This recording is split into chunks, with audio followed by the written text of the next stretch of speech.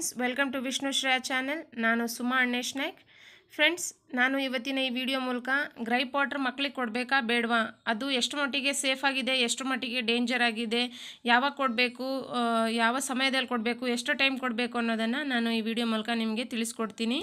Friends first time ಯಾರಾದರೂ ನನ್ನ ಚಾನಲ್ನ ನೋಡ್ತಾ ಇದ್ದರೆ ದಯವಿಟ್ಟು ಸಬ್ಸ್ಕ್ರೈಬ್ ಮಾಡೋದನ್ನು ಮರಿಬೇಡಿ. ನಿಮ್ಗೆ ಈ ವಿಡಿಯೋ ಇಷ್ಟ ಆದರೆ ಲೈಕ್ ಮಾಡಿ. ಆದಷ್ಟು ಚಿಕ್ಕ ಮಕ್ಕಳಿರೋರಿಗೆ ಅಂದರೆ ಈಗ ಡೆಲಿವರಿ ಆಗಿರ್ತಾರಲ್ಲ ಅಂಥವರಿಗೆ ಈ ಒಂದು ವಿಡಿಯೋನ ಶೇರ್ ಮಾಡಿ. ಹಾಗೆಯೇ ತುಂಬ ಜನಕ್ಕೆ ತಪ್ಪು ತಿಳುವಳಿಕೆ ಇದೆ. ಈ ಚಾನಲ್ ಸಬ್ಸ್ಕ್ರೈಬ್ ಮಾಡ್ಕೊಳ್ಳೋದ್ರಿಂದ ದುಡ್ಡು ಕಟ್ಟಾಗುತ್ತೆ ಅಂಥೇಳಿ ತುಂಬ ಜನ ಸಬ್ಸ್ಕ್ರೈಬ್ ಮಾಡದೇ ವೀಡಿಯೋಸ್ ನೋಡ್ತಿರ್ತಾರೆ. ನನ್ನ ಚಾನಲ್ಗೆ ಸಬ್ಸ್ಕ್ರೈಬ್ ಆಗಿರೋರು ಫಿಫ್ಟಿ ಪರ್ಸೆಂಟ್ ಇದ್ದಾರೆ. ಇನ್ನು ಸಬ್ಸ್ಕ್ರೈಬ್ ಮಾಡ್ದೇ ವೀಡಿಯೋಸ್ ನೋಡ್ತಾ ಇರೋರು ಫಿಫ್ಟಿ ಪರ್ಸೆಂಟ್ ಇದ್ದಾರೆ. ಸೊ ಪ್ಲೀಸ್ ಈ ರೀತಿ ಮಾಡಬೇಡಿ. ನನ್ನ ಚಾನಲ್ನ ಸಬ್ಸ್ಕ್ರೈಬ್ ಮಾಡ್ಕೊಂಡು ನೀವು ನೋಡಿ, ಇದರಿಂದ ನಿಮ್ಗೆ ದುಡ್ಡೇನು ಕಟ್ಟಾಗಲ್ಲ ಸೊ ಫ್ರೆಂಡ್ಸ್, ಇವತ್ತಿನ ವಿಷಯನ ಶುರು ಮಾಡ್ತೀನಿ. ಮಗು ಹುಟ್ಟಿದ ದಿನದಿಂದಾನೇ ಹೇಳ್ತಿರ್ತಾರೆ, ಡಾಕ್ಟರ್ಗಳಾಗಲಿ ಅಥವಾ ನರ್ಸ್ಗಳಾಗಲಿ ಹೇಳ್ತಿರ್ತಾರೆ, ಮಕ್ಕಳಿಗೆ ಹೊರಗಡೆ ಆಹಾರವನ್ನು ಯಾವುದೇ ರೀತಿಯಾಗಿ ಕೊಡಬೇಡಿ. ಹಸುವಿನ ಹಾಲಾಗಲಿ ಅಥವಾ ನೀರಾಗಲಿ ಅಥವಾ ಗ್ರೈ ವಾಟರ್ ಆಗಲಿ ಸಿರಪ್ ಹಾಕೋದು ಕೂಡ ಈ ಟೈಮಲ್ಲಿ ರಿಸ್ಟ್ರಿಕ್ಟ್ ಆಗಿದೆ. ಮಕ್ಕಳಿಗೆ ಅವರು ತಾಯಿಯ ಕರಳು ಬಳ್ಳಿ ಮೂಲಕನೇ ಅವರು ಮಕ್ಕಳು ಆಹಾರನ ತಿಂತಿರ್ತಾರೆ ಹೊಟ್ಟೆ ಒಳಗಿದ್ದಾಗ. ಹೊರಗೆ ಬಂದಾಗ ಬರೀ ಆರು ತಿಂಗಳವರೆಗೂ ಬರೀ ತಾಯಿ ಹಾಲನ್ನು ಮಾತ್ರನೇ ಕುಡಿಬೇಕಾಗುತ್ತೆ. ಬೇರೆ ಯಾವುದೇ ರೀತಿಯ ಆಹಾರವನ್ನು ತಗೋಬಾರ್ದು. ಆ ಥರದ ಆಹಾರವನ್ನು ಕೊಟ್ಟರೆ ಮಕ್ಕಳಿಗೆ ಬೇರೆ ಬೇರೆ ಥರದ ತೊಂದರೆಗಳಾಗಕ್ಕೆ ಶುರುವಾಗುತ್ತೆ. ಮಗು ಅಳ್ತಾ ಇದೆ ಅಂದ್ರೇ ಸಾಕು. ಹಳ್ಳಿ ಕಡೆ ಜಾಸ್ತಿ ಜನ ಈ ಗ್ರೈ ವಾಟರ್ನ ತಂದು ಕುಡಿಸ್ತಾರೆ. ಯಾಕಂದರೆ ನಾನು ಹಳ್ಳಿಯವಳು ಹಾಗಾಗಿ ನಾನು ನೋಡಿದ್ದೀನಿ. ಮಗು ಡೆಲಿವರಿ ಆದ ತಕ್ಷಣ ತಾಯಂದರು ತುಂಬ ಸೆನ್ಸಿಟಿವ್ ಆಗಿಬಿಡ್ತಾರೆ. ಮಗು ಸ್ವಲ್ಪ ಹತ್ರ ಸಾಕು, ಅವ್ರಿಗೆ ಸಂಕಟ ಆಗಿಬಿಡುತ್ತೆ. ಹಾಗಾಗಿ ಮಗು ಅಳುನ ಯಾವ ರೀತಿಯಪ್ಪ ನಿಲ್ಲಿಸೋದು ಅಂಥೇಳಿ ಯೋಚನೆ ಮಾಡ್ತಿರ್ಬೇಕಾದ್ರೆ ಈಗ ಅವ್ರು ಕುಡಿಸ್ದೇ ಇದ್ರೂ ಬೇರೆ ಅಕ್ಕಪಕ್ಕದ ಮನೆಯವರಾದರೂ ಸಜೆಸ್ಟ್ ಮಾಡ್ತಾರೆ, ಮಗು ತುಂಬ ಅಳ್ತಾ ಇದೆ ಗ್ರೇ ವಾಟರ್ ತಂದು ಕುಡಿಸಿ ಗ್ಯಾಸ್ ಪ್ರಾಬ್ಲಮ್ ಆಗಿದೆಯೇನೋ ಗ್ರೇ ವಾಟರ್ ಕುಡಿಸಿದ್ರೆ ಸರಿ ಹೋಗುತ್ತೆ ಅಂಥೇಳಿ ಸಜೆಸ್ಟ್ ಮಾಡ್ತಾರಲ್ಲ, ಅಂಥ ಟೈಮಲ್ಲಿ ಮಗು ಅಳ್ತಾ ಇರೋದನ್ನು ನೋಡಿ ತಂದೆ ತಾಯಿಗಳು ತಂದು ಕುಡಿಸೇ ಬಿಡ್ತಾರೆ. ಬಟ್ ಈ ಗ್ರೈ ವಾಟರ್ ಎಷ್ಟು ಡೇಂಜರಸ್ ಅಂತ ಹೇಳಿ ನಿಮಗಿನ್ನೂ ಸರಿಯಾಗಿ ಗೊತ್ತಿಲ್ಲ. ಹಾಗಾಗಿ ನಾನು ಈ ವಿಡಿಯೋ ಮೂಲಕ ಎಷ್ಟು ಡೇಂಜರ್ ಇದೆ, ಅದು ಮಕ್ಕಳನ್ನ ಇದನ್ನು ಕೊಡಬೇಕಾ ಬೇಡ ಅನ್ನೋದನ್ನು ನಾನು ತಿಳಿದೆ, ತಿಳಿಸ್ತಾ ಇದ್ದೀನಿ. ತಂದೆ ತಾಯಿಗಳು ತಲೆಗೆ ಬರೋದೇ ಮಗು ಯಾವಾಗ ಅಳಕ್ಕೆ ಶುರು ಮಾಡುತ್ತಲ್ಲ ಅಂಥ ಟೈಮದಲ್ಲೇ ನಾವು ಈ ಗ್ರೈಪ್ ವಾಟರ್ ಕೊಡಬೇಕು ಅಂತ ಹೇಳಿ ಅವ್ರ ತಲೆಗೆ ಬರುತ್ತೆ. ಆದರೆ ಮಗು ಯಾಕೆ ಅಳ್ತಾ ಇದೆಯಾ ಅಂತ ಹೇಳಿ ಯಾರೂ ಯೋಚನೆ ಮಾಡಲ್ಲ. ಅದಕ್ಕೆ ತಲೆ ನೋಯ್ತಾ ಇದೆಯಾ, ಅಥವಾ ನೆಗಡಿ ಆಗಿದೆಯಾ ಹಶ್ವಾಗಿದೆಯಾ ಅಥವಾ ಯೂರಿನ್ ಪ್ರಾಬ್ಲಮ್ ಏನಾದರೂ ಆಗಿದೆಯಾ ಮೋಷನ್ ಪ್ರಾಬ್ಲಮ್ ಏನಾದರೂ ಆಗಿದೆಯಾ, ಅದ್ರ ಬಗ್ಗೆ ಏನೂ ಯೋಚನೆ ಮಾಡಲ್ಲ. ಮಗು ಅಳ್ತಾ ಇದೆಯಾ, ರಾತ್ರಿ ಸರಿಯಾಗಿ ನಿದ್ದೆ ಮಾಡ್ತಿಲ್ವಾ? Gripe water ಕುಡಿಸು. ಅದು ಎಷ್ಟು ಡೇಂಜರ್ ಆಗಿದೆ ಅಂತಂದರೆ ಈಗ ಅದರಲ್ಲಿ ಆಲ್ಕೋಹಾಲ್ ಕಂಟೆಂಟ್ ಇರುತ್ತೆ, ಹಾಗೆ ಸೋಡಿಯಂಗಳನ್ನು ಅದರಲ್ಲಿ ಮಿಕ್ಸ್ ಮಾಡಿರ್ತಾರೆ ಗ್ರೈಪ್ ವಾಟರ್ಗಳಲ್ಲಿ ಈ ಬೇಕರಿ ಐಟಮ್ಗಳೆಲ್ಲ ನಮಗೆ ತಿನ್ನಬಾರ್ದು ಅಂತ ಹೇಳಿ ಯಾಕೆ ಹೇಳ್ತಾರೆ ಅಂದರೆ, ಅದರಲ್ಲೆಲ್ಲ ಈ ಸೋಡಿಯಂ ಅಂದರೆ ಈ ಬೇಕಿಂಗ್ ಸೋಡಾ ಎಲ್ಲ ಹಾಕಿರ್ತಾರಲ್ಲ ಹಾಗಾಗಿ ಅದನ್ನು ದಿನ ತಿನ್ನೋದು ಬೇಡ ಅಂತ ಹೇಳಿ ನಮಗೆ ದೊಡ್ಡವರಿಗೆ ನಿಲ್ಲಿಸಿರ್ಬೇಕಾದ್ರೆ ಆ ಸೋಡಿಯಂನ ಹಾಕಿರುವಂತಹ ಈ ಗ್ರೈ ವಾಟರ್ನ ಮಕ್ಕಳಿಗೆ ಕೂಡಿಸೋದ್ರಿಂದ ಅವ್ರಿಗೆ ಏನೇನೆಲ್ಲ ತೊಂದರೆ ಆಗಲ್ಲ ಅನ್ನೋದ್ರ ಬಗ್ಗೆ ನೀವು ಯೋಚನೆ ಮಾಡಿ. ಮನೆಯಲ್ಲಿರುವಂತಹ ಅಜ್ಜಿಯಂದ್ರಾಗಲಿ ಅಥವಾ ಅಮ್ಮಂದ್ರಾಗಲಿ ಹೇಳ್ತಿರ್ತಾರೆ ಮಗುವಿಗೆ ಹುಟ್ಟಿದೆಯಲ್ಲ ಮೂರು ತಿಂಗಳವರೆಗೂ ಅಳುತ್ತೆ, ಆಮೇಲೆ ಎಲ್ಲ ಸರಿ ಹೋಗ್ಬಿಡುತ್ತೆ ಅಳೋದೆಲ್ಲ ನಿಲ್ಲಿಸ್ಬಿಡುತ್ತೆ ಅಂತೇಳಿ ಅಮ್ಮಂದರು ಹೇಳ್ತಿರ್ತಾರೆ ಅಥವಾ ಹಿರಿಯರು ಯಾರಾಗಿರ್ತಾರೆ, ಈ ಮಕ್ಕಳನ್ನ ಹೆತ್ತು, ಹೊತ್ತು ಎಕ್ಸ್ಪೀರಿಯೆನ್ಸ್ ಆಗಿರೋರು ಅವ್ರು ಹೇಳ್ತಿರ್ತಾರೆ, ಮೂರು ತಿಂಗಳವರೆಗೂ ಅವ್ರು ಅಳುತ್ತೆ ಅಂಥೇಳಿ ಆದರೆ ಮಗು ಮೂರು ತಿಂಗಳವರೆಗೇ ಯಾಕೆ ಅಳಬೇಕು? ಅಲ್ವಾ? ಇದಕ್ಕೇನಾದರೂ ಒಂದು ಸೈಂಟಿಫಿಕ್ ರೀಸನ್ ಇರುತ್ತಲ್ವಾ? ಮೂರು ತಿಂಗಳವರೆಗೂ ಅಳುತ್ತೆ ಮಗು ಅಂತಂದರೆ, ಆ ರೀಸನ್ ಏನಪ್ಪ ಅಂತಂದರೆ, ಅಂಥ ಸಮಯದಲ್ಲಿ ಮಕ್ಕಳ ಡೈಜೆಸ್ಟಿವ್ ಸಿಸ್ಟಮ್ ಅದು ಗ್ರೋತ್ ಆಗ್ತಾ ಇರುತ್ತೆ, ಬೆಳವಣಿಗೆ ಆಗ್ತಾ ಇರುತ್ತೆ. ಆ ಟೈಮಲ್ಲಿ ಪ್ರತಿಯೊಬ್ಬರು ಮಕ್ಕಳಿಗೂ ಈ ಹೊಟ್ಟೆ ಬರೋದು ಸಹಜ. ಸೊ ನಾವು ಆ ಟೈಮಲ್ಲಿ ಮಕ್ಕಳಿಗೆ ಏನು ಮಾಡಿ ಆ ಹೊಟ್ಟೆ ನೋವನ್ನು ಸರಿ ತೂಗಿಸ್ಬೇಕು, ಅದನ್ನು ನಾವು ಮಾಡಬೇಕು. ಅದನ್ನು ಬಿಟ್ಟು ಹೊರಗಡೆ ಆಹಾರನ ಕೊಡಬೇಡಿ ಅಂದಾಗಲೂ ನಾವು ಮತ್ತೆ ಗ್ರೈ ಪಾಟರ್ ತಂದು ಕುಡಿಸಿದ್ರೆ ಮಕ್ಕಳ ಆರೋಗ್ಯನ ನಾವು ಸರಿ ಮಾಡ್ತಾ ಇಲ್ಲ, ಮತ್ತೆ ಹಾಳು ಮಾಡ್ತಾ ಇದ್ದೀವಿ ಗ್ರೈಪ್ ಪಾಟರ್ ತರೋಕ್ಕೂ ಮುಂಚೆ ಆ ಗ್ರೈಪಾಟರಲ್ಲಿ ಏನು ಕಂಟೆಂಟ್ ಹಾಕಿದ್ದಾರೆ ಅಥವಾ ಏನು ಡೇಂಜರಸ್ ಆಗಿರುವಂತಹ ಕಂಟೆಂಟ್ ಹಾಕಿದ್ದಾರೆ ಅಂತ ಹೇಳಿ ಯಾರೂ ನೋಡೋದಿಲ್ಲ. ಆ್ಯಕ್ಚುಲಿ ಒಬ್ಬೊಬ್ಬರು ಅದರ ಎಕ್ಸ್ಪೈರಿ ಡೇಟು ನೋಡೋದಿಲ್ಲ. ಒಂದೊಂದು ಎರಡು ವರ್ಷ ಇರುತ್ತೆ, ಒಂದೊಂದು ಮೂರು ವರ್ಷ ಇರುತ್ತೆ. ಅದನ್ನು ಚೆಕ್ ಮಾಡೋದಿಲ್ಲ. ಗ್ರೈಪಾಟರ್ ತರಬೇಕಾ? ಸರಿ ತಂದು ಕೊಡ್ತೀವಿ ಅಂತ ತಂದು ಕೊಟ್ಬಿಡ್ತಾರೆ ಅಯ್ಯೋ, ಅವ್ರು ತಂದು ಕೊಟ್ಟಿದ್ದಾರಲ್ಲ ನನ್ನ ಹಸ್ಬೆಂಡ್ ಆಗಲಿ ಮತ್ತೊಬ್ರು ಯಾರಾದರೂ ಫ್ರೆಂಡ್ಸ್ಗಳಾಗಿ ಅವ್ರು ನೋಡಿ ತಂದಿರ್ತಾರೆ ಅಂತ ಹೇಳಿ ಇವರು ನೋಡಲ್ಲ, ಹಾಗೆ ಹಾಕ್ಬಿಡ್ತಾರೆ. ಅದರಲ್ಲಿ ಎಷ್ಟು ಡೇಂಜರ್ ಆಗಿರುವಂಥ ಕೆಮಿಕಲ್ನ ಯೂಸ್ ಮಾಡಿರ್ತಾರೆ ಗೊತ್ತಾ? ಮುಂಚೆ ಅಥವಾ ಸ್ವಲ್ಪ ವರ್ಷಗಳ ಹಿಂದೆ ಅಲ್ಲ ಅಂದರೆ ಒಂದು ಐದಾರು ವರ್ಷಗಳ ಹಿಂದೆ ಈ ಗ್ರೈ ಪೌಡರ್ನ ಬ್ಯಾನ್ ಮಾಡಿದರು. ಯಾಕಂದರೆ ಇದರಲ್ಲಿ ಆಲ್ಕೋಹಾಲ್ ಕಂಟೆಂಟ್ ಇರುತ್ತೆ. ಇದನ್ನು ಮಕ್ಕಳಿಗೆ ಕೊಡಬಾರ್ದು ಡೇಂಜರಸ್ ಆಗಿರುವಂಥದ್ದು ಅಂತ ಹೇಳಿ. ಆದರೆ ಇದು ಅದು ಬ್ಯಾನ್ ಆಗಿ ಮತ್ತೆ ಇದು ರೀಪ್ರೊಡಕ್ಷನ್ ಆಯಿತು. ರೀಪ್ರೊಡಕ್ಷನ್ ಆದಮೇಲೆ ಮತ್ತೆ ತರಕ್ಕೆ ಸ್ಟಾರ್ಟ್ ಆಯಿತು. ಈ ಆಲ್ಕೋಹಾಲ್ ಕಂಟೆಂಟ್ನ ಕಡಿಮೆ ಮಾಡಿದರು ಸೋಡಿಯಂನ ಜಾಸ್ತಿ ಮಾಡಿದರು ಇದರಲ್ಲಿ. ಹಾಗಾಗಿ ಸೋಡಿಯಮ್ ತಿನ್ನೋದ್ರಿಂದ ಮಕ್ಕಳಿಗೆ ಏನೇನೆಲ್ಲ ಪ್ರಾಬ್ಲಮ್ ಬರೋಲ್ಲ. ಈ ಗ್ರೈಪ್ ವಾಟರಲ್ಲಿ ಶುಗರ್ ಹಾಕಿರ್ತಾರೆ. ಶುಗರ್ ಮಕ್ಕಳಿಗೆ ತಿನ್ನೋದ್ರಿಂದ ಈ ಮಕ್ಕಳು ಒಸಡಿರುತ್ತಲ್ಲ ಅದು ವೀಕ್ ಆಗ್ತಾ ಬರುತ್ತೆ.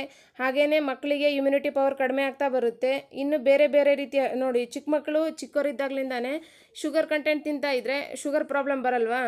ಇದು G N L diabetes mellitus ಅಂತೇಳಿ ಚಿಕ್ಕ ಮಕ್ಕಳಿದ್ದಾಗಲಿಂದಾನೇ ಶುಗರ್ ಬರೋಕ್ಕೆ ಸ್ಟಾರ್ಟ್ ಆಗುತ್ತೆ. ಸೊ ಈ ರೀತಿಯಾಗಿರುವಂತಹ ತೊಂದರೆಗಳಿಗೆ ಎಡಿ ಮಾಡಿಕೊಡ್ಬೇಡಿ. ಯಾರೂ ಕೂಡ ಈ ಗ್ರೈಪ್ ವಾಟರ್ನ ಹಾಕೋದು ಬೇಡ. ಮುಂಚೆ ಎಲ್ಲ ಕುಡಿಸಿದಾರ, ಅವ್ರ ಮಕ್ಕಳೆಲ್ಲ ದೊಡ್ಡವರಾಗಿದ್ದಲ್ಲ ಪರವಾಗಿಲ್ಲ. ಆದರೆ ಇವಾಗೆ ಜಾಸ್ತಿ ಕಾಯಿಲೆಗಳೆಲ್ಲ ಸೃಷ್ಟಿ ಆಗ್ತಾ ಇದ್ದಾವೆ ನಮಗೆ ಗೊತ್ತಿರೋ ಥರ. ಹಾಗಾಗಿ ಮಕ್ಕಳಿಗೆ ಇಮ್ಯುನಿಟಿ ಪವರ್ ಇರೋದು ತುಂಬ ಮುಖ್ಯ. ಅದು ಬರೋದು ತಾಯಿ ಹಾಲಿಂದ ಹೊರತಾಗಿ ಬೇರೆ ಕೊಡ್ತಾ ಇರುವಂತಹ ಈ ಹಸು ಹಾಲಾಗಲಿ ಅಥವಾ ರಾಗಿ ಗಂಜಿಲಿ ಅದರಲ್ಲೆಲ್ಲ ಬರಲ್ಲ. ವಯಸ್ಸಿಗೆ ತಕ್ಕಂತೆ ಏನೇನು ಕೊಡಬೇಕಲ್ಲ, ಅದನ್ನು ನಾವು ಮಕ್ಳಿಗೆ ಕೊಡೋದ್ರಿಂದ ಅವ್ರು ಹೆಲ್ತಿಯಾಗಿರ್ತಾರೆ ಅವ್ರ ಇಮ್ಯುನಿಟಿ ಪವರ್ ಚೆನ್ನಾಗಿರುತ್ತೆ. ಅಕಸ್ಮಾತಾಗಿ ಮಗುಗೆ ಹೊಟ್ಟೆ ನೋವು ಕಾಣಿಸ್ಕೋತಾ ಇದೆ, ತುಂಬ ಅಳ್ತಾ ಇದೆ ಅಂತ ಅನ್ನೋರು ಮಕ್ಕಳಿಗೆ ಈ ಪ್ರೋಬಯೋಟಿಕ್ಸ್ ಅಂಥೇಳಿ ಕೊಡ್ತಾರೆ. ಆ ಪ್ರೋಬಯೋಟಿಕ್ಸು ಹಾಸ್ಪಿಟ್ಲಲ್ಲಿ ಯಾವಾಗ ಕೊಡ್ತಾರೆ ಅಂತಂದರೆ ಮಕ್ಕಳಿಗೆ ನೀವು ಆರು ತಿಂಗಳಾದಮೇಲೆ ಸರಿ ತಿನ್ನಿಸ್ತಿರಲ್ಲ, ರಾಗಿ ಸರಿ ಆಗಲಿ ಅಥವಾ ಬೇಳೆಕಾಳುಗಳನ್ನು ಬೇಯಿಸ್ಬಿಟ್ಟು ತಿನ್ನಿಸ್ತಿರಲ್ಲ, ಅಂಥ ಟೈಮಲ್ಲಿ ಮಕ್ಕಳಿಗೆ ಇನ್ಫೆಕ್ಷನ್ ಆಗಿರುತ್ತೆ ಅನ್ನೋ ಟೈಮಿಗೆ ಈ ಪ್ರೋಬಯೋಟಿಕ್ಸ್ಗಳನ್ನ ಕೊಡ್ತಾರೆ. ಅದನ್ನು ಡಾಕ್ಟರ್ಗಳೇ ಕೊಡಬೇಕು, ನಾವಾಗ ನಾವೇ ತೊಗೊಳಕ್ಕಾಗಲ್ಲ. ಆದರೆ ಗ್ರೈ ಪೌಡರ್ ಕೊಡೋದು ತುಂಬಾ ಹಾನಿಕಾರಕವಾಗಿರುವಂಥದ್ದು ಮಕ್ಕಳಿಗೆ ಸೊ ದಯವಿಟ್ಟು ಯಾರು ಕೊಡಬೇಡಿ ಈ ವಿಡಿಯೋ ನೋಡಿದ ತಕ್ಷಣ. ಇಲ್ಲ ನಾವು ನಮ್ಮ ಮಕ್ಕಳಿಗೆ ಅಥವಾ ನಮ್ಮ ಅಕ್ಕನ ಮಕ್ಕಳಿಗೆ ಯಾರಿಗಾದರೂ ನಾವು ಕೊಟ್ಟಿದ್ದೀವಿ, ಅವ್ರಿಗೇನು ತೊಂದರೆ ಇಲ್ಲ, ನಾವು ಕೊಡ್ತೀವಿ ಅನ್ನೋರಾದರೆ ಖಂಡಿತವಾಗ್ಲೂ ಅದು ನೀವು ರಿಸ್ಕ್ ತೊಗೋತೀವಿ ಅಂದರೆ ನೀವು ತೊಗೋಬೋದು. ಹಳ್ಳಿ ಕಡೆ ಎಲ್ಲ ಮಗು ಡೆಲಿವರಿ ಆದ ತಕ್ಷಣ ಅಂದರೆ ಎರಡು ವಾರ, ಮೂರು ವಾರ ಆದ ತಕ್ಷಣ ಅವಾಗಿಂದನೇ ಗ್ರೇ ಪೌಡರ್ ಹಾಕೋಕ್ಕೆ ಶುರು ಮಾಡ್ತಾರೆ. ಆ ಶ ಗ್ರೇ ಪೌಡರ್ ತೊಗೊಳ್ಳೋದ್ರಿಂದ ಮಕ್ಕಳಿಗೆ ಏನೇನು ತೊಂದರೆ ಆಗುತ್ತೆ ಅಂದರೆ ಮಕ್ಕಳಿಗೆ ಇಚ್ಚಿಂಗ್ ಆಗುತ್ತೆ, ಅಥವಾ ವಾಮಿಟಿಂಗ್ ಮಾಡ್ಕೊತಾವೆ ಮಕ್ಕಳು ಜಾಸ್ತಿ, ಅಥವಾ ಕಣ್ಣಲ್ಲಿ ನೀರು ಬರೋವಂಥದ್ದು ಈ ರೀತಿಯಾಗಿರುವಂತಹ ಪ್ರಾಬ್ಲಮ್ಗಳು ಶುರು ಆಗುತ್ತೆ ಈ ಚಿಕ್ಕ ಸ್ಟೇಜಲ್ಲಿ ಇದ್ದಾಗಲೇ ಮಕ್ಕಳಿಗೆ ಸೊ ದಯವಿಟ್ಟು ಗ್ರೈ ಪೌಡರ್ನ ಕೊಡೋದನ್ನು ನಿಲ್ಲಿಸ್ಬೇಡಿ ಇನ್ನು ಈ ಮಕ್ಕಳಿಗೆ ಹೊಟ್ಟೆ ನೋವು ಅಥವಾ ಗ್ಯಾಸ್ ಪ್ರಾಬ್ಲಮ್ ಏನೋ ಆದಾಗ ನಾವು ಆಲ್ಟರ್ನೇಟಿವ್ ಆಗಿ ಏನು ಮಾಡ್ಬೋದು ಅಂತ ಹೇಳಿ ನೋಡೋದಾದರೆ ಹರಳೆಣ್ಣೆನ ಬಿಸಿ ಮಾಡಿಬಿಟ್ಟು ಅದು ಸ್ವಲ್ಪ ಉಗುರು ಉಗುರು ಬೆಚ್ಚಗಿರುತ್ತಲ್ಲ ಅಂಥ ಟೈಮಲ್ಲಿ ಹೊಟ್ಟೆ ಮೇಲೆ ಹಾಕ್ಬಿಟ್ಟು ಕ್ಲೀನಾಗಿ ಮಸಾಜ್ ಮಾಡಿ. ಅದು ಮಸಾಜ್ ಮಾಡೋದ್ರಿಂದ ಮಗುಗೆ ಸ್ವಲ್ಪ ರಿಲೀಫು ಸಿಗುತ್ತೆ, ಹಾಗೆ ಗ್ಯಾಸ್ ಪಾಸ್ ಆಗುತ್ತೆ, ಹೊರಗಡೆ ಬಂದುಬಿಡುತ್ತೆ ಹೊಟ್ಟೆ ಮಸಾಜ್ ಮಾಡಿದಾಗ. ಹಾಲು ಕುಡ್ಸಾದ್ಮೇಲೆ ಮಗುನ ಎದೆ ಮೇಲೆ ಹಾಕ್ಕೊಂಡು ಬರ್ಫಿಂಗ್ ಮಾಡಿ, ಹಾಗಾಗಿ ಡೈರೆಕ್ಟಾಗಿ ಹಾಲೆಲ್ಲ ಹೊಟ್ಟೆಗೆ ಬರುತ್ತಲ್ಲ, ಹಾಗಾಗಿ ಮಗು ವಾಂತಿ ಅಥವಾ ಗ್ಯಾಸ್ ಪ್ರಾಬ್ಲಮ್ ಈ ರೀತಿ ಏನೂ ಆಗಲ್ಲ. ಗ್ಯಾಸ್ ಪ್ರಾಬ್ಲಮ್ ಆಗೋದು ಬರೇ ಮಗು ಹೊಟ್ಟೆಗೆ ತೊಗೊಳೋದ್ರಿಂದಾನೇ ಅಂತಲ್ಲ. ತಾಯಿ ಏನು ಎಣ್ಣೆ ಐಟಮು ಅಥವಾ ಈ ನಾನ್ ವೆಜ್ಗಳು ಅಥವಾ ಈ ಜಾಸ್ತಿ ಬೇಳೆಕಾಳುಗಳು ಅಂಥದ್ದೇನಾರು ತಿಂತಾ ಇರೋದ್ರಿಂದನೂ ಮಗುಗೆ ಗ್ಯಾಸ್ ಆಗೋ ಚಾನ್ಸಸ್ ಇರುತ್ತೆ. ಸೊ ಏನು ತಿರಬೇಕು? ಸೊಪ್ಪು ತರಕಾರಿಗಳನ್ನು ತಿನ್ನಿ. ನಾನ್ ವೆಜ್ ತಿನ್ನಿ, ಆದರೆ ಜಾಸ್ತಿ ಆಯಿಲ್ ಕಂಟೆಂಟ್ ಇರೋದನ್ನು ತಿನ್ನಬೇಡಿ ಅವಾಗವಾಗ ಮಾತ್ರ ತಿನ್ನಿ. ಈ ಇದರಿಂದನೂ ಮಗುಗೆ ಗ್ಯಾಸ್ ಆಗಿ ಮಗುಗೆ ತೊಂದರೆ ಆಗುತ್ತೆ. ಮಗು ಗ್ಯಾಸ್ ಪಾಸ್ ಆಗದೇನೆ ಅಳ್ತಾ ಇದೆ ಅಥವಾ ನರಳ್ತಾ ಇದೆ ಅಂತ ಅನ್ನೋರು ಈ ಯೂಟ್ಯೂಬ್ಗಳಲ್ಲಿ ಅಥವಾ ಗೂಗಲಲ್ಲಿ ಸರ್ಚ್ ಮಾಡಿ, ಅದರಲ್ಲೆಲ್ಲ ಈ ಸೈಕ್ಲಿಂಗ್ ಎಕ್ಸಸೈಸಸ್ ಯಾವ ರೀತಿ ಮಾಡಿಸೋದು ಮಕ್ಕಳಿಗೆ ಅಂತ ಹೇಳಿ ಅದರಲ್ಲಿ ವೀಡಿಯೋಸ್ ಇರುತ್ತೆ. ಆ ರೀತಿ ಸೈಕ್ಲಿಂಗ್ ಮಾಡಿಸಿ ಮಕ್ಕಳಿಗೆ ಅದರಿಂದನೂ ಸೈಕ್ಲಿಂಗ್ ಮಾಡಿಸೋದ್ರಿಂದನೂ ಗ್ಯಾಸ್ ಪಾಸ್ ಆಗುತ್ತೆ. ಆವಾಗ ಮಕ್ಕಳು ನಿರಾಳ ಆಗ್ತಾರೆ. ಟೈಮ್ ಸರಿಯಾಗಿ ಮೋಷನ್ ಪಾಸ್ ಮಾಡೋದನ್ನು ಕಲಿತಾರೆ. ಈ ಸೈಕ್ಲಿಂಗ್ ಎಕ್ಸಸೈಸ್ಗಳನ್ನು ಒಂದು ಮೂರು ಸಲ ಅಥವಾ ಒಂದು ಎರಡು ಸಲ ಈ ರೀತಿ ಮಾಡ್ತಾ ಇರೋದ್ರಿಂದ ಇವತ್ತು ಯಾವ ಟೈಮಲ್ಲಿ ಮೋಷನ್ ಪಾಸ್ ಮಾಡಿದೆಯಲ್ಲ, ನಾಳೆನೂ ಅದೇ ಟೈಮಲ್ಲಿ ಮೋಷನ್ ಪಾಸ್ ಮಾಡುತ್ತೆ. ಹಾಗಾಗಿ ಗ್ಯಾಸ್ ಪ್ರಾಬ್ಲಮ್ ಏನೂ ಇರೋದಿಲ್ಲ. ತಾಯಿ ಏನು ತಿಂತಾರಲ್ಲ ಊಟ, ಅದ್ರ ಮೇಲೆ ಸ್ವಲ್ಪ ಜಾಗೃತಿಯಾಗಿರಿ ನೀವು. ಜಾಸ್ತಿ ನಾನ್ ವೆಜ್ ತಿನ್ನೋದು ಅಥವಾ ಬೇಳೆಕಾಳುಗಳು ತಿನ್ನೋದನ್ನು ಮಾಡಬೇಡಿ. ಸೊಪ್ಪುಗಳು, ತರಕಾರಿಗಳು, ಅದರ ಜೊತೆಗೆ ಫ್ರೂಟ್ಸ್ಗಳು ಇದನ್ನೆಲ್ಲ ತಿಂತಾ ಬನ್ನಿ. ಅಕಸ್ಮಾತಾಗಿ ನಿಮಗೆ ಹಾಲು ಆಗ್ತಿಲ್ಲ ಹಾಗಾಗಿ ನಾವು ಮಗುಗೆ ಈ ಫಾರ್ಮುಲಾ ಮಿಲ್ಕ್ ಕೊಡ್ತಾ ಇದ್ದೀವಿ ಅಂತಂದರೆ ಅದರಿಂದನೂ ಗ್ಯಾಸ್ ಆಗ್ತಾ ಇರುತ್ತೆ. ನೋಡಿ ನಿಮಗೆ ಫಾರ್ಮುಲಾ ಮಿಲ್ಕ್ ಬೇಕಾ ಬೇಡವಾ ಅನ್ನೋದ್ರ ಬಗ್ಗೆ ಡಿಸೈಡ್ ಮಾಡಿ. ಇದೇನಾದರೂ ಸರಿ ಬರ್ತಿಲ್ಲ ಅಂತಂದರೆ ನೀವು ಬೇರೆ ಫಾರ್ಮುಲಾ ಮಿಲ್ಕ್ ಆದರೂ ತೊಗೋಬೋದು. ಅಥವಾ ನೀವು ಜಾಸ್ತಿ ಹಾಲಿನ ಕಂಟೆಂಟ್ ಇರುವಂಥ ಐಟಮನ್ನು ನೀವು ತಿನ್ನೋದ್ರಿಂದನೂ ನಿಮಗೆ ಹಾಲು ಚೆನ್ನಾಗಿ ಬರುತ್ತೆ. ಸಬ್ಬಸ್ಗೆ ಸೊಪ್ಪನ್ನು ತಿನ್ನಿ ಹಾಗೆಯೇ ಪಾಲಕ್ ಸೊಪ್ಪನ್ನು ತಿನ್ನಿ, ಜೀರಿಗೆ ಅಂಥದ್ದನ್ನು ಜಾಸ್ತಿ ತಿನ್ನೋದ್ರಿಂದ ಹಾಲು ಚೆನ್ನಾಗಿ ಬರುತ್ತೆ. ನಾನ್ ವೆಜ್ ತಿನ್ನೋರಾಗಿದ್ದರೆ ಮೀನು ತಿನ್ನೋದ್ರಿಂದನೂ ಹಾಲು ಚೆನ್ನಾಗಾಗುತ್ತೆ. ಈಗ ದೊಡ್ಡವರಿಗೆ ಏನಾದರೂ ಗ್ಯಾಸ್ ಪ್ರಾಬ್ಲಮ್ ಆದರೆ ನಾವು ಈನೋ ಅಥವಾ ಈ ಲಿಂಬೆಹಣ್ಣು, ಅದರಲ್ಲಿ ಸೋಡಾ ಪುಡಿ ಇದನ್ನು ಹಾಕ್ಕೊಂಡು ಕುಡಿತೀವಲ್ವಾ? ಈ ಗ್ರೈಪೋಟರಲ್ಲೂ ಈ ರೀತಿಯಾಗಿರುವಂಥದ್ದನ್ನೇ ಮಿಕ್ಸ್ ಮಾಡಿರೋದು. ಇದರಲ್ಲಿ ಸೋಡಿಯಂಗಳನ್ನು ಜಾಸ್ತಿ ಯೂಸ್ ಮಾಡಿದ್ದಾರೆ ಶುಗರ್ ಜಾಸ್ತಿ ಆ್ಯಡ್ ಮಾಡಿದ್ದಾರೆ. ಹಾಗೆಯೇ ಇದನ್ನು ಜಾಸ್ತಿ ದಿನ ಪ್ರಿಸರ್ವ್ ಮಾಡಿಡಬೇಕಲ್ಲ, ಅಂಗಡಿಗಳಲ್ಲಾಗಲಿ ಸ್ಟೋರ್ ಮಾಡಿಡೋದಕ್ಕೆ. ಹಾಗಾಗಿ ತುಂಬ ದಿನದಿರುವಂತಹ ಪ್ರಿಸರ್ವೇಟಿವ್ಗಳನ್ನೆಲ್ಲ ಇದರಲ್ಲಿ ಹಾಕಿರ್ತಾರೆ ಸೊ ಮಕ್ಕಳಿಗೆ ತುಂಬ ಡೇಂಜರಸ್ ಇದು. ದಯಮಾಡಿ ಯಾರು ಮಕ್ಕಳಿಗೆ ಗ್ರೈಪೋಟರ್ನ ಕೊಡೋಕ್ಕೆ ಹೋಗಬೇಡಿ. ಈ ಹಂತದಲ್ಲಿ ಅಂದರೆ ಚಿಕ್ಕ ಮಕ್ಕಳು ಇರಬೇಕಾದ್ರೆ ಇದನ್ನು ಕೊಡೋಕ್ಕೆ ಹೋಗಬೇಡಿ. ಫ್ರೆಂಡ್ಸ್ ಈ ವಿಡಿಯೋಸ್ ನಿಮ್ಗೆ ಇಷ್ಟ ಆಗಿದೆ ಅಂತ ಭಾವಿಸ್ತೀನಿ. ನಾನು ಮುಂದೆ ವಿಡಿಯೋಗಳಲ್ಲಿ ಮತ್ತೆ ಸಿಗ್ತೀನಿ.